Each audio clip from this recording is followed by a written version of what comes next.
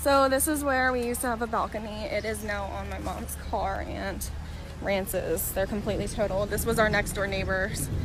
Uh, as you can see over here, uh, my bedroom window and everything is completely blown through, bricks everywhere. It, it's bad, guys.